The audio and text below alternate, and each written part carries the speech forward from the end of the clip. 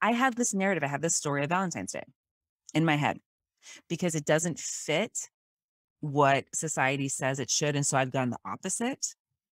And I'm like, well, what if I actually kind of enjoy the day and just like try this love thing all mushy, but not, uh, it's not towards a romantic partner because I don't have a romantic partner Yeah. currently.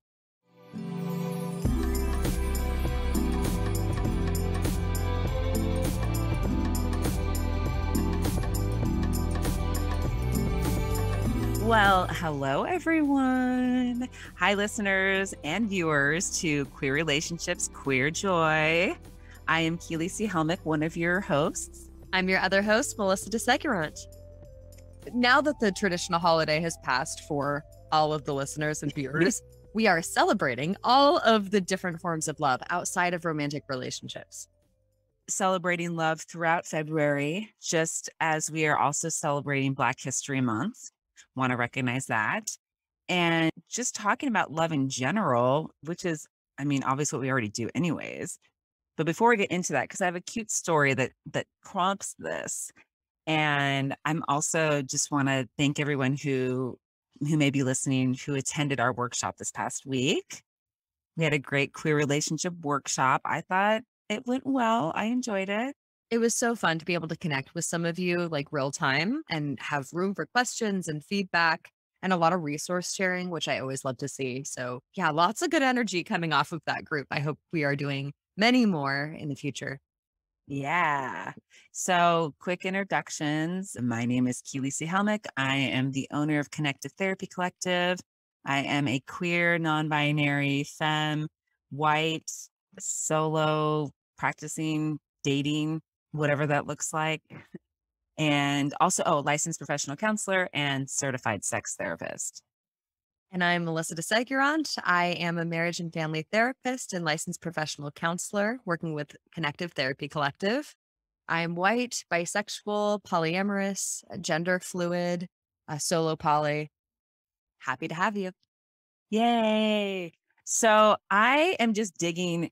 So specifically, articles, people are probably seeing posts. And so when they hear this episode, will have seen the posts around queering up Valentine's Day, queering love, queering up what it means to love.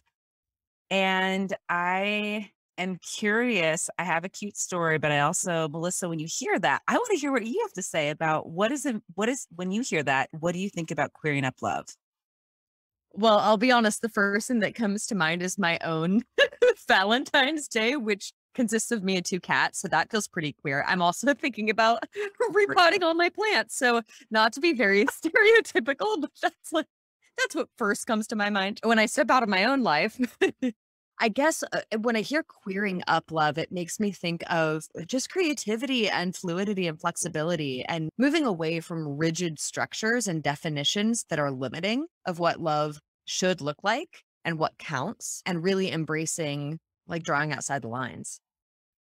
Drawing outside the lines. Okay. Well, I think we had some quotes from the workshop that we talked about what love is, and we were referring specifically to romantic love, but it could also be applied to love, which Erich Fromm, I don't have the quote in front of me, but the definition of love being that we are here to help support another person's spiritual growth, spiritual in a broad sense, not spiritual necessarily just religiously, but just the whole being in that support of a whole person and really noticing that. And I, you know, so I read a, an article from Bitch, um, from Bitch Media, and it talked about some of the, the great quote that I loved was to be queer is to open up different types of love in your life. And so the article really talked about the ways that queer culture, queer community redefines family. So that kind of that type of love and redefining, you know, we have the queer platonic relationships and really taking the opportunity to look at love in all facets. Mm. And so my cute story, I am obviously single right now.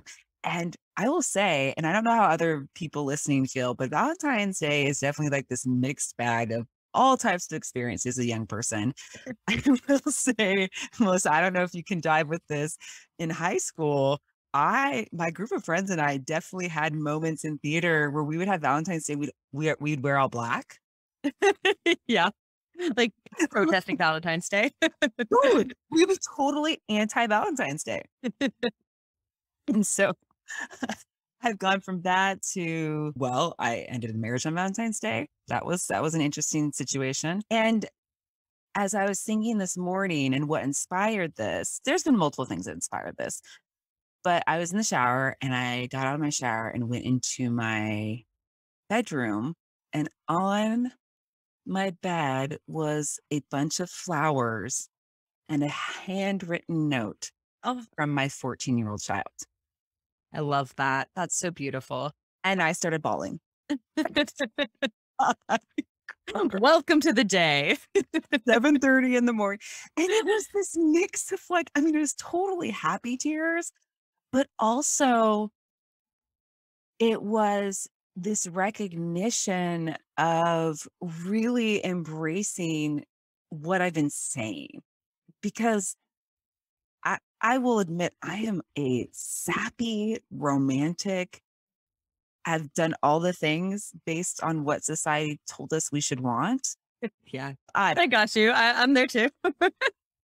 And so, and then it gets even better because in the note, she says, Mom, even if you never have another romantic relationship, you are very loved. I, so I, profound.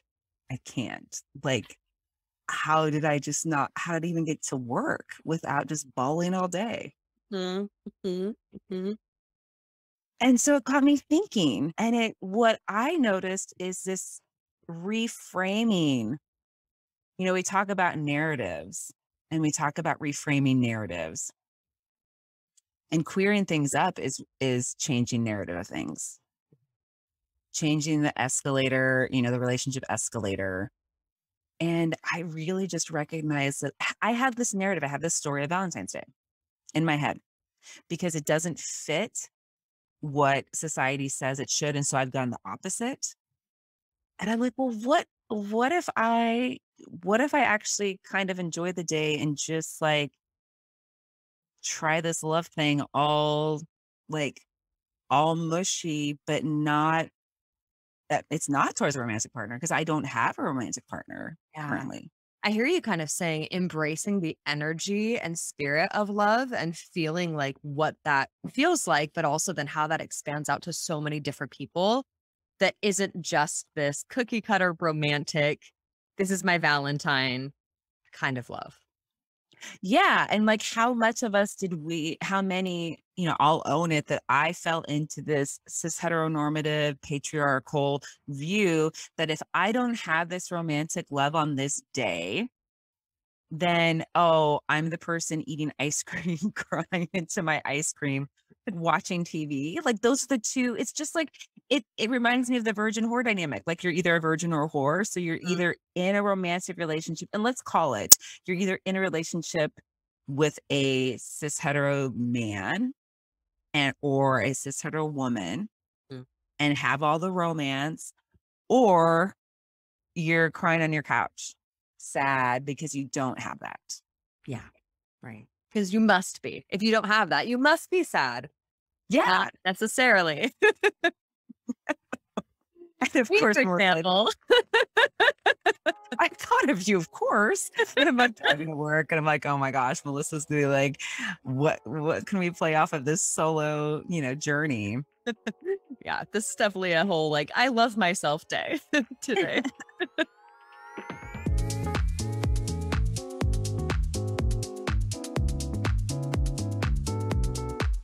Hey everybody, Cardinal the Cuddly Cryptid here to let you know that we now have a free relationship check-in worksheet you can get to help you put into practice some of the things we talk about here on Queer Relationships, Queer Joy. It has five exercises to help you determine personal goals from relationship goals, identify possible power dynamics, and gauge your level of vulnerability in your relationships. Complete it alone or with your person of choice. Find it at bit.ly slash QRQJ worksheet or by clicking the link in the show notes. Okay, back to Keely and Melissa. Well, and so I wonder, you know, talking about this and the topic or bringing this into a topic for listeners is how do we do this? Okay, so we can lip service. Yeah, we can talk all day, every day, see all the memes, see the posts of like, love yourself. I mean, the other classic going on right now is this image of flowers and an image of vibrators. so instead of getting flowers this Valentine's Day, this Valentine's month, getting vibrators instead, which I mean could apply to all year because you can get flowers and vibrators all year long. Yeah, right, right. Well, actually, I'm glad you just said that because that's one thing that was kind of occurring to me is that if you're not a person who is actively practicing self love, like day to day, practicing it one day on Valentine's Day might feel very artificial and, Yeah. and and fake and forced. And that doesn't mean don't do it, but it also might be an invitation that this needs to be a practice. if it feels really foreign to you, perhaps you're not tapping into that enough. For me, this doesn't feel strange to have this day of self love. And, you know, I mean, I've talked about some of the dates I've taken myself on recently or self affirming shopping sprees, you know, and to me, this is an extension of that with a little bit more energy in the air around it. Yeah, and I think about the ways so if we're broadening love just in general, focusing on self-love, then what does that look like if if we are someone who is looking to have romantic love, but also if we are already in a relationship or already have relationships that are romantic and or sexual. But then also, how does all of this coincide into improving all of our relationships? Like we're saying yes with ourselves and how are we changing that dynamic or just improving it, shifting it for all of our relationships? Well, I think, gosh, think about when we have that energy in our systems of I, I'm resourced, I'm happy. I'm, I mean, if we can't get to the the self-love place, say that's not a familiar framework of what that energy feels like. Think about when you've slept really well and you wake up and you're like, oh, I'm just, I feel awake, I feel rested, and you're full. Think about how that changes every single interaction you have throughout that morning versus when you're really depleted and you're really exhausted, right? I, like for me, also not a morning person, more information about me. I'm in a really grouchy, crabby mood if I am not properly resourced. And so I don't think that this idea of self love, as we've talked about so many times, takes away from loving other people and connecting. I think it enhances it. You know, the energy that we can walk around the world with and then share with other people, whether that's we've talked about those one-off conversations with like the barista, you know, or the person that's doing the groceries, you know, bagging the groceries for you. Certainly anyone that we talk to with more regularity, whether that's coworkers, friends, um, romantic partners, even. But I really do think that when we can when we can foster that kind of a self-love energy, and I, I think it naturally seeps out to everyone else that we co- come in contact with. Yeah, and I I I still think people are gonna be like, "How do you do that?" Do you have a favorite? I think about like heart opening or like I of course I go to meditation. Do you have a favorite heart opening meditation or a resource when you talk when we talk about this like softening? Because I think that sometimes when we're looking at talking to folks about connection, it's that there's been some kind of trauma or experiences that have really shut people off from love or shut people off from loving. Again, not just romantic, but how are those relationships in the rest of your life? How has trauma affected um, ability to connect with self and connect with others? Yeah. I wish there was a one size fits all, like do this and then your trauma will be addressed. But I do think it's really individualized.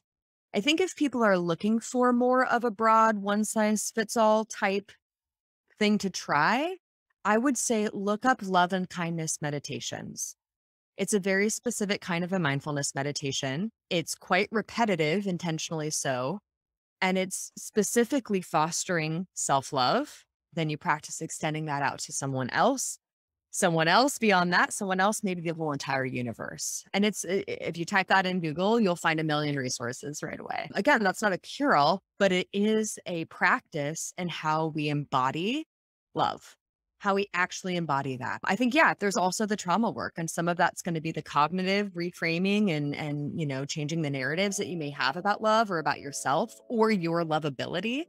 That's all relevant too but also the the mindfulness the body practices where we're just embodying the the kind of love we want to see in the world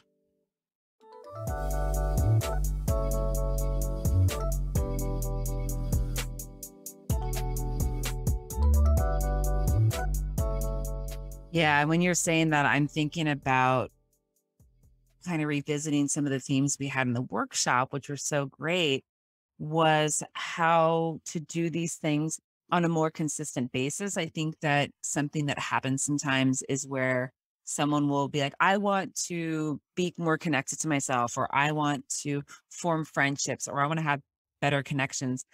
And it becomes this piece of like, I want to do that right now instead of trying to do it in the moment when it feels most intense versus how is this in a daily practice? How is this in a routine? How do we shift it up? And so, what does it look like to extend love to ourselves and to others in a in a smaller daily practice? Which, of course, yes, it could be a meditation.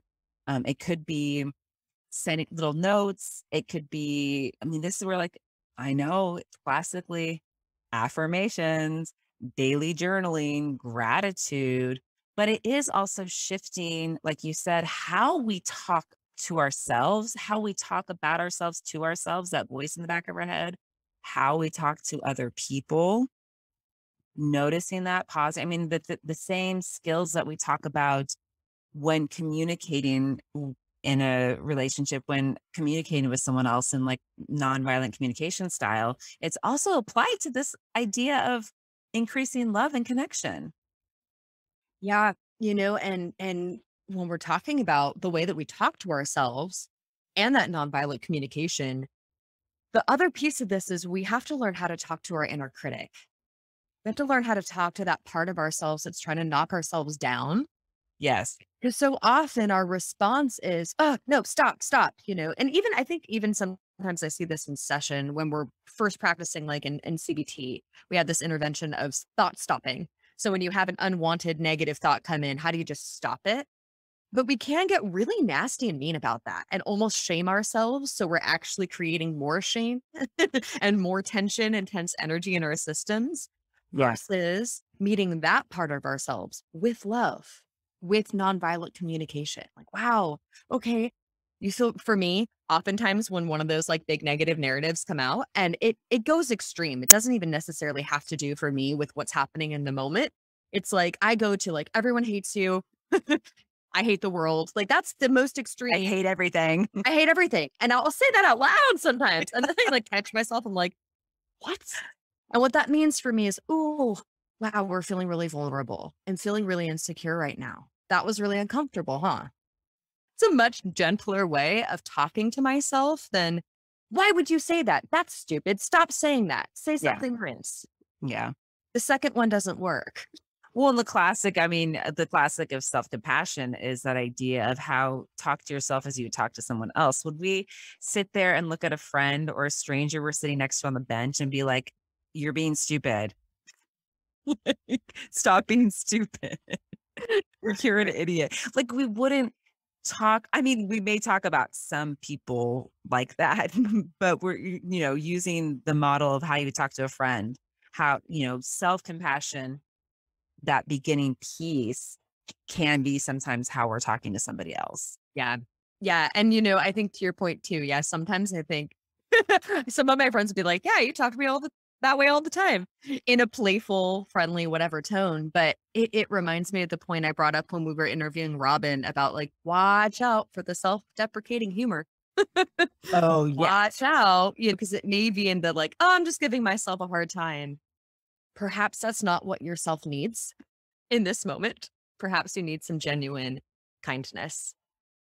Well, and doing these things, taking the time to do these things and thinking about these things is part of getting off or never getting on the relationship escalator because this is the piece when we say queering up and changing things is is I almost said radicalizing. I don't know if it's that extreme, but just looking at things through a different lens. And if we're starting with, I think starting off with this self love is then being like, or just even just liking ourselves. Maybe it's sometimes it's just like liking ourselves that day.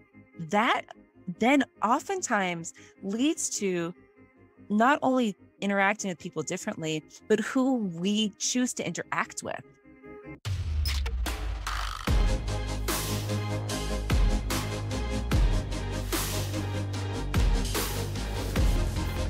Hey, hello, hi, Cardinal here, your behind the scenes buddy. You know what else goes on behind the scenes? As you like it, adult toy shop. Eco friendly, fat friendly, queer friendly, they truly are for everybody and everybody. Find them online at asyouLikeItShop.com and use code CTC Therapy, that's all one word, at checkout for 10% off. That's CTC Therapy at asyouLikeItShop.com. Okay, back to the show. Gosh, when I'm thinking about my own previous impulses towards relationship escalator, there was a part of me that felt incomplete. I needed to find this partnership to prove Yeah. my worthiness, to prove I'm in love, to prove I'm lovable, to prove I've got my life. I mean, to prove lots of different things. but when we're really embracing the self love piece, I feel very, and where I am now, right? I feel very fulfilled in my relationship with myself, meaning I am complete in partnership with myself. Do I hope to have other connections? Yes. And I actually do. Again, because we're talking about like, I have so much love for my friends. I mean, I have very, very close, deep, meaningful relationships in my life with lots of people who I'm not romantic or sexual with necessarily. But when we're that filled up on our own, there, Eh, gosh, think about the energy again that we're bringing into connections. There's not this desperate need, like, please fill this part of me. Because like, yeah, it's not a scarcity. It's not yeah. saying I have to have this. I need this. Like you can it's be fully complete. Yes. yes. It's like an abundance. We're showing up going like, look at all the stuff I got. What you got? You want to play? like, what do I have? I have all this. And yes, simply, I don't have this one specific person. No one is fulfilling this romantic piece. Okay that's okay. And that's how we're queering things up is saying, like, okay, the idea of existing in this world and being a fully awesome human doesn't equate to whether or not you're connected to another human romantically. And that's the continual deconstructing these narr like really deconstructing that narrative, like really looking at where it is. Because let's be real, I think most people already know this, but I think it bears to say that how did marriage start? Like if we're really looking at romance and the idea of romance and marriage, uh man and woman joining to share property. Ownership and property. So romantic. It's it's capitalism is capitalism. Well, and that's the other piece that I wanted to add too is like part of the reason it's so important when we talk about embodying this and doing all our own work is we still live in a, a society where there is systemic support for a certain kind of love and yes. a certain kind of couple and a certain image. And that still exists. And so if we want to combat that, yes, there there's the activism, there's the legal routes, there's all of that. But we have to, I mean, maybe the radical really is a big part of this actually, Kayla. Like maybe we need to go that big in terms of what we're embodying because we have so much systemically working against us. Well, yeah, and the and the pressure and the the images that we see and the the content is so geared towards patriarchal capitalism, white supremacy. How do all of these structures act to support and influence these ideas. And so then as queer people, we're just like, well, fuck that narrative. Like I'm wearing all black on Valentine's Day. in high school was wearing all black, but then but then also again rec- reclamation of being like, I'm gonna take this these this concept of love and make it our own. Plus, don't we need another like day to wear all our pride stuff besides just in June? Like, isn't this a great day to like bring out all my rainbows and my hearts and like just spread love around the world. Oh heck yeah! I have my trans socks on. Like Yeah. I great like pull up my high, you know, my high knee trans socks, with my Yeah. on, yeah, and go out and find all the queer bakery shops and like food trucks and like get my love of food on. Yeah, for sure. oh, and of course, hang out with a friend who's also an ex. Yeah. Gotta do that. Gotta make it as queer as possible.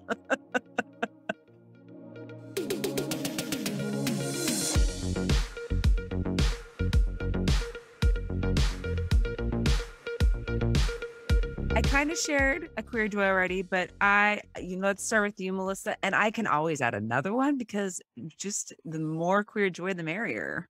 I love it. Well, especially like, you know, coming off of this holiday, for some people, this this was a tough day and is still a tough day. And so let's bring all the joy we can, you know. Uh, For sure.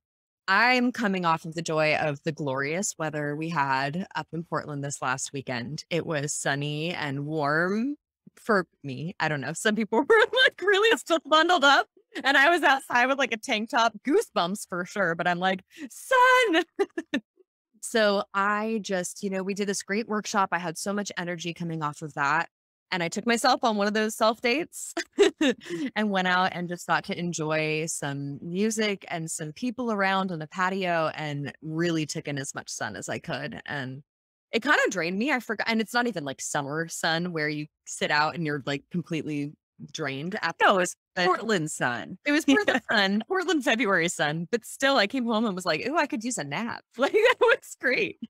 So yeah, I I'm really, really grateful. I um I'm a big like my space is really important to me to like aesthetics of where I'm living. And so I took down the snowflakes decals. I had little decals on my window to make winter like a little bit brighter for me in Portland. And I know we're not into spring yet, but I did take down the snowflakes. So we are we're getting there. Getting close to spring. Yeah. Yeah. Well, I would say my queer joy or one of the queer joys I experienced was just going out for dessert, getting out and hanging out with a friend. And it was kind of nostalgic for those who listeners who are in Portland may know Papa Haydn's. And it's been around for a long time. It's a dessert only place, but they have like gluten free stuff now. And they vegan. They definitely did not have gluten free when I was in high school, for sure. And I just had a nice time being outside. And like you said, yeah, it was actually warm enough to be outside, just having dessert, enjoying a lot of food today. dessert, enjoying the dessert. So that was my, you know, and it was a fellow, fellow, fellow queer friend. And I really have enjoyed, I will say, I am on this interesting journey of trying out dating apps and trying out different dating apps. I think that's going to be an episode. I can't wait to hear. I think we're gonna have to do this. We just we're looking. Hey, if anyone's listening and wants to like come on as a guest and does like the dating thing, please DM us. yeah, and who's an expert on on dating apps and like queer dating apps? Queer dating apps, creating the dating app because I'm in this place where I'm like, okay, I'll do the app thing, but can you help me create it? Because Mhm. I don't know what the hell I'm doing. Oh, oh, dang it! No, I wanted to say, okay, I have another queer joy, real quick. Yay, add it, add it. about this because throughout my life I've been out as queer for many, many, many, many, many years. However, I often was like cis hetero female passing. And my haircut, I was in a lush store. Person comes up and is like talking to me, like total queer coded. Like they just like came up to me and started chatting about all the things queer and how they're a drag queen and and at Lush, there was a display that said something, something, my non binary child, I'm so proud of. Oh, that's wonderful. Like Lush finally is like embracing and recognizing all the queers. Cause I mean, believe me, whenever I go into Lush, there are tons of queer folks. Plus, I would say like 80% are the people working on the staff are queer. So they're like recognizing. So fucking queering up Lush. Hell yeah. So that was a very, very high up there queer joy. That's amazing. That's like I, I, you're saying that I'm like, we need our list. At, well, I'm sure someone already has this I still feel like I'm relatively new to Portland, having moved in the middle of a pandemic where I Oh yeah. am like, Lush sounds like one of the, the spots on the queer hangout list. Oh, for sure. Oh yeah. to get your pure joy. Oh yeah. Yeah. and and there's a lush and then um petunias hmm yeah there's there's definitely scenes y'all add your own thing these are my things that i i Yeah. my queer joys add your others but queer joys that definitely involve a lot of queers harlow harlow's right by there shout out none of these people are i mean if you want to send us some products lush please do so but by the way no one supported us on this So uh that's a wrap for today. I do want to mention that we are doing our next workshop on March 24th. I kept saying March 25th. Correction, correction, correction. March 24th. And then we have our group starting up. So we're really doing a lot of work around non-monogamy polyamory. All the things. And again, in a couple weeks, we actually get to have another interview with a couple that has been practicing non-monogamy for many years. So that'll be fun. And otherwise, anything else we want to plug, Melissa? No, I think I think that covers it. I I would say just keep reaching out to us. You know, the wonderful thing about the workshop was being able to connect with people real time. I'm interested in hearing people's feedback episode to episode. As we've said, we're not Yeah. like experts and and the only voices, you know, to add to these conversations. So please let us know how things are hitting you and what also what you'd like to hear. Well, awesome. Thanks again for listening. And I hope all of you have a queer and joyful week.